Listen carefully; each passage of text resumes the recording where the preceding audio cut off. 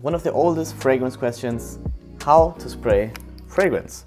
Now I have three methods that I use to spray my fragrance. Method number one. Some people don't like to smell their fragrance the whole day and they don't like the aggressive performance in their nose. And I feel like this, I do the following.